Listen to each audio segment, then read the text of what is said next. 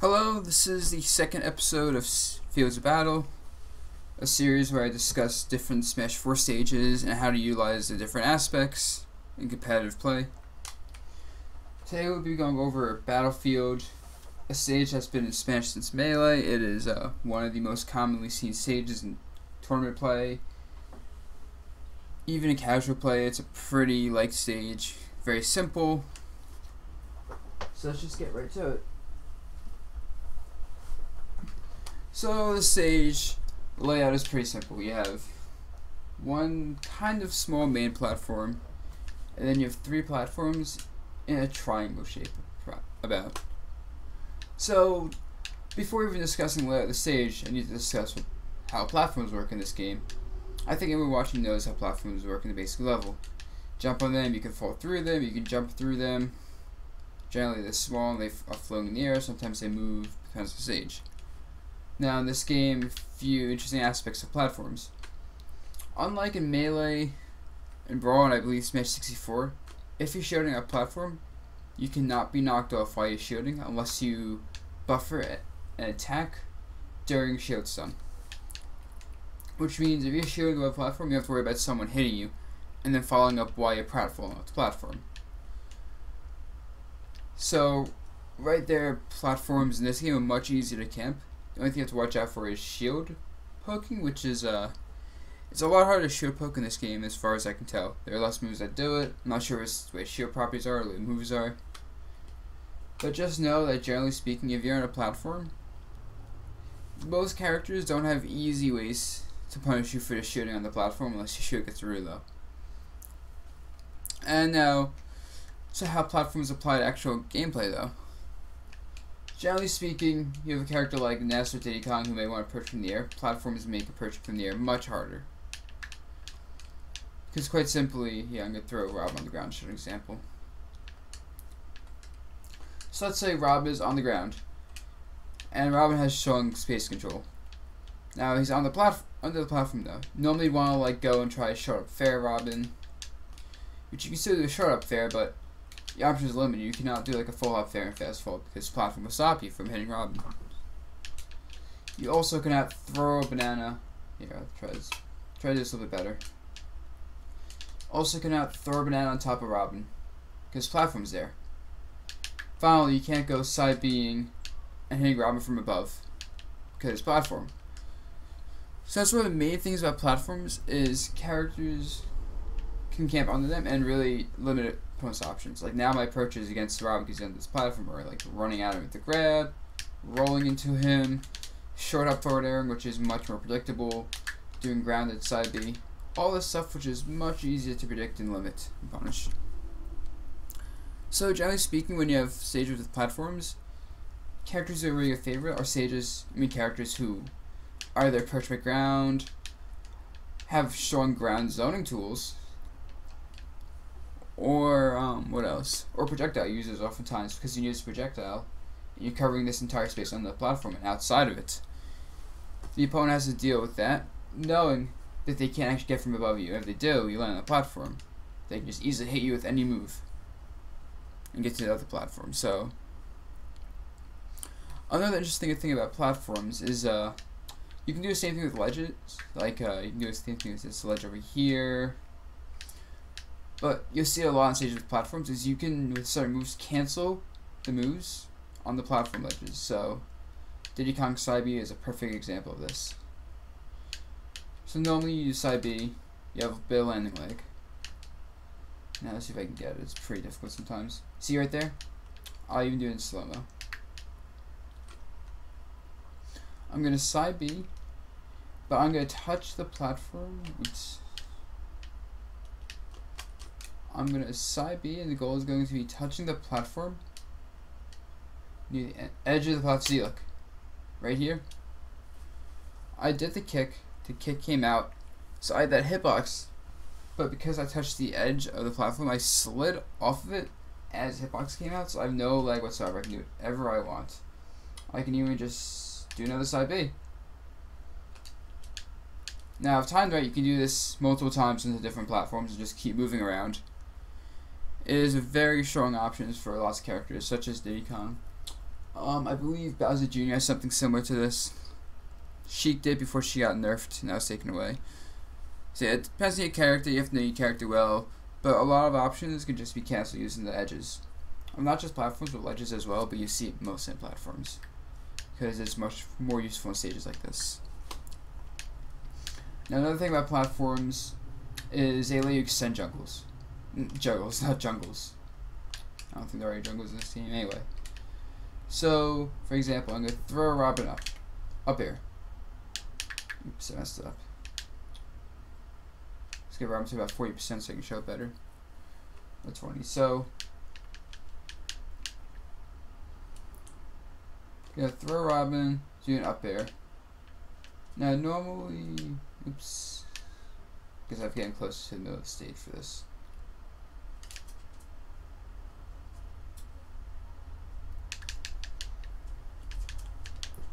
So normally, throw Robin, do an up air, do a forward air or something. It's end of his juggle right there. Pretty simple. I think everyone has fought Diddy Kong at least once and just got hit by that. It'd be like uh, 20 something damage. Now, on a stage like this, through the platforms, you can use these platforms as stepping stones to just juggle better. Up air. Now, instead of going for the immediate up air or forward I'm going to do jump on the platform first, then go for an aerial. It gives me, it doesn't necessarily combo, but it's hard to avoid those follow-ups. And so it gives me another 9 damage. Now, certain characters get more than others. Like, Ness can probably just do more forward airs. I've seen Falcon do ridiculous combos using up airs because he falls so fast and has such a little landing lag. And then there are characters like Mii Fighter, who can throw you onto the platform, and then they can jump on the platform with you and read your tech, and they do, they get a free grab, which you can use to follow up to kills or something. So it's character specific, but generally speaking, you can jump on the platforms when someone's high in the air, just to follow up, get more combos, even just do more mix-ups. If you throw someone onto a platform, you can oftentimes jump on there, read their tech, or even just frame trap their tech if you're really fast, you have a good character for that, and just punish them. Say characters who have strong combo games vertically, I mean horizontally, you're gonna love these kind of stages. Um, but another aspect of these stages with the platforms is you can use the platforms as a landing option. I'm just gonna, so, where is it fixed?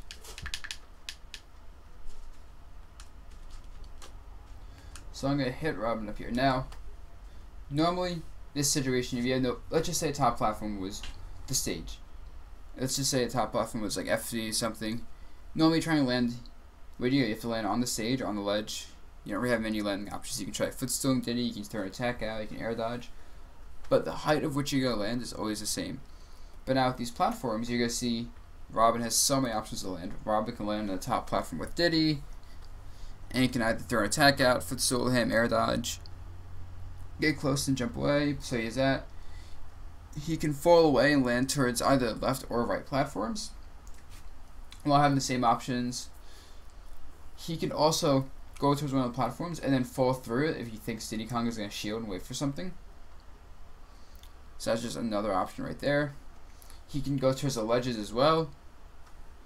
Once again with all the same options, attacking, air dodging, etc. And he can even like navigate through the platforms and land on stage. So a character with really bad landing, unless they're fighting someone with really good ways to trap you in the air, like Diddy Kong or um, Meta Knight, can really utilize the platforms and stages like this to get away from juggles. As much as juggles get buffed, they also get nerfed depending on the character because you get so many more options just to the varying heights of platforms. Even if there's only one platform, that single platform would give you twice as many landing options. So essentially, you stage like Battlefield with three platforms, and each other gives you four times as many landing options. And yes, yeah, so that's the basics of platform play and how platforms can be utilized. There's a lot more about platforms, but I just wanted to keep it very simple, concise for this video. So the, quick summary platforms there. You can use in the camp under with characters with strong ground games or strong projectile games, characters who approach by the air or mix up using high air moves, or even projectiles that fall from above. Get extremely limited options when you're under a platform. You can use platforms to camp under with the camp on top of with your shield. You can use platforms for character-specific gimmicks like canceling moves. You can use platforms to uh, extend jungles. You can use platforms to uh, have better landing options. And yeah, now going on to actually the layout of Battlefield. Yeah, this. Battlefield is pretty self-explanatory. No uh, hazards, nothing changes. It's just one small triangle, I'd say. So, one of the main things I touched on this earlier is you can move around very freely on this stage if you have a lot of vertical, yeah, vertical mobility. So a character like Diddy Kong who has high jumps, decent fall speed, lots of area movement with his side B, can just dance around the stage freely. So, Diddy's a good example. Sheik's a good example of a character who can dance around freely. What else? Um, I consider uh, Falcon gets a lot of mobility buffs in the stage because he's not forced to just approach you and move around flat. But generally speaking, characters with very fast aerial mobility are gonna love these kind of stages because they get so much more when they can go up and down, left and right, and really just feel free. And now, triangle pattern at also just do the way platforms are. You can get some really extended juggles. Like you can throw someone to this platform, hit them into this platform, and then combo them to death or something. Because the top platform is so close to the ceiling of the stage compared to the main stage. Um, now due to the small size of this stage though, characters who have lots of grounded speed don't really gain much from this stage. They actually lose a bit compared to characters like Robin or Bowser, who are slow, but because there's not much room to cover, I actually really like the fact that this stage is so small. So I'm Falcon, I can get across the stage in a second, but as Robin, it may take like twice as much time to get across, but it doesn't matter because as Robin, I'm gonna have projectiles. I'm gonna have long range area moves. I'm gonna be able to just throw out stuff, say like here, and this is my zone, from here to about here. So I'd say like from here to underneath the top middle platform is my zone as a character like Robin or Bowser or DK, who isn't fast but has all these long reaching moves. That is gonna keep my opponent at bay. And so a character like those two I'm gonna love picking, or I'm gonna love using on the stage which was placed on the next thing. You can't really run away from big hitboxes that well. You can't really run away from characters that well. Because unless you're someone like, well, Diddy Kong, who can really abuse the mobility of these platforms, you're to be forced to fight, and you have to be dealing with these hitboxes all the time, just because there's not enough room for you to run around and like really confuse the opponent, run circles around them, and basically just wait for them to do something. Because if you wait for them to do something, if I'm Robin, I can just slowly advance, slowly advance, cover options, cover options, and now I'm over here. And now say you're a Falcon over here, where do you go? If you go up on these platforms, I can cover you. If you go through me, over here, I can cover you. If you go over here, I just walk over to the left and you're covered again. Go on the way top, you're in a bad spot. Because the thing about platforms on stage like this is actually getting off the platforms when someone is below you is difficult. And yeah, so that's the gist of it. Character like Fox, who actually uses his Nairs from full hop height to approach. He uses his side B to cover a lot of stage, uses his speed to maneuver. Probably doesn't want this stage. So basically, characters with bad approaches are better for the stage, and characters with strong approaches speed don't want this. Now, the other thing about the stage is that, similar with FD, you can go underneath the stage. It is significantly easier though on the stage in FD because I don't think Diddy Kong can do it. Oh, maybe he can. But yeah, compared to FD, the under part of the stage is much shorter, much smaller. There's less distance to cover vertically and horizontally. So not only is it easier for characters to go on the stage if they can do it under FD, but characters who can't go on the stage in FD might be able to do it on this stage just because it's so much smaller. See, look, Diddy Kong can do it on this stage, but I'm almost positive on FD he can't do it. So this means if you have bad ledge options, this stage is pretty preferable for most characters. Gives you one extra ledge option. And even though it's easier to get across the stage in Battlefield, it's easier to get under as well. It's faster, so it kind of bounces out. So, talk about the stage. Now, pretty much already discussed this, but just to like just list off characters who I think would want this stage. Characters like DK probably want this stage. Get these aerial juggles, get nice space coverage. Also characters who can knock you off a platform. Like say I am a Diddy Kong and I hit off the platform with F2 and you pratfall. And I can just fall down and do a down tilt as you're pratfalling and jab block you basically. Characters with gimmicky combos like that would probably love this stage if they can land consistently. So I would pick the stage if I was Robin or an Olimar because I can stand the platforms here. If I was um, a Samus because I can use these platforms for my forward air, my up air combos. I can camp under with missiles. If I was a what else? Uh, probably Villager. Because once the center of these platforms, just throw my projectiles out, throw my gyroids out, really keep my opponents at bay characters I want, want wouldn't want to go to the stage as are Fox because I utilize the speed and flat stages to my advantage. Platforms make approaching harder. I don't really get the best juggles out of these platforms compared to other characters. And because my fall speed is so fast as Fox, I can't really utilize the different spots of these platforms to my advantage. Because one thing you might about platforms like this is if you're falling too fast, you even get if you're up here and you're falling, you can't even get to the left or right platforms because your fall speed is so like fast you're just going to be easier target to juggle. So as Fox, I wouldn't want to go here. As Sonic, I probably wouldn't want to go here because my vertical mobility as Sonic isn't the best. And all every character for most part can like kind of run around you in this stage. They're definitely ones who are better than others, so Sonic isn't very good at this stage, I don't think. Um, as Falcon, actually love this stage because even though my approach options are limited, I'm not really approaching from full hop full hop height, so I'm not using these platforms to my advantage as much. I'm getting a lot of strength stabbing up air string on these platforms, can potentially up air, up air, up air, up air into knees or something. As Mario, I wouldn't want this stage because I can't approach with fireballs if someone's like here, because I have to approach from fireball from like here, and then by the time my fireball gets to the opponent, I get to the opponent. It's really predictable what I'm gonna do. The other brother though, Luigi would probably love this stage. And yeah, there's just a few examples of characters who might and might not like these stages. Generally speaking, the big characters can't approach like these stages.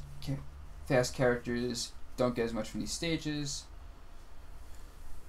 So, um, what else? Characters with strong projectile games like Rob. Oh my god, Rob in the stage is really good actually. And yeah. Now, one other thing to keep in mind is I talked about FD, which is the polar opposite of this stage in my last video.